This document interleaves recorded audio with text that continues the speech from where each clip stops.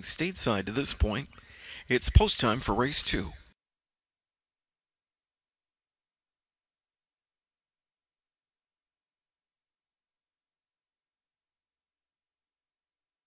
Trotting fillies ready for a start. They're off and trotting. Gradabra leaving out sharply down the center. PL Lily alongside from the inside. Atlanta and Wish I Was There. Outside speed now from Billie Holiday. Way out wide is Ciao Dolce. Then it's back to Lady Deanie in early traffic. Magic Ice Case stacked up wide. So is Princess Stephanie. Goddess of Goodness down to the rail.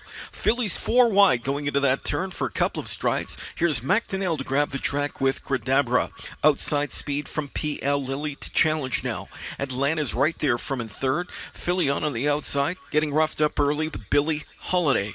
Then it's back inside from in fifth to Wish I Was There. Billie Holiday's nightmare just got worse as Billie Holiday blew up in the second quarter. There's three eighths. On that lead, it's PL Lily in the pocket spot, Gradabra. It's two likes to Atlanta from in third. Wish I Was There fourth. Fifth inside, Ciao Dolce. Gap of two to Lady Deanie from in sixth. Seventh is Goddess of Goodness, followed by Magic Ice K, Princess Stephanie, and the resetting Billie Holiday's got work to do. Half in a minute and one, so soft panels thus far, quarter and 30, that second panel in 30 and 1. Heading into the far turn, PL Lily looking for the upset. Pocket setting Gradabra. Zeron stomps on the gas pedal of Atlanta, and Atlanta gets into gear in the blink of an eye. And here's Atlanta right up alongside PL Lily, eyeballing that filly as they start to sprint going to three quarters. PL Lily outside Atlanta, right there from third Gradabra now. Then on cover, Wish I Was There. They're at three quarters in 130 and 3, 30 and two, third quarter.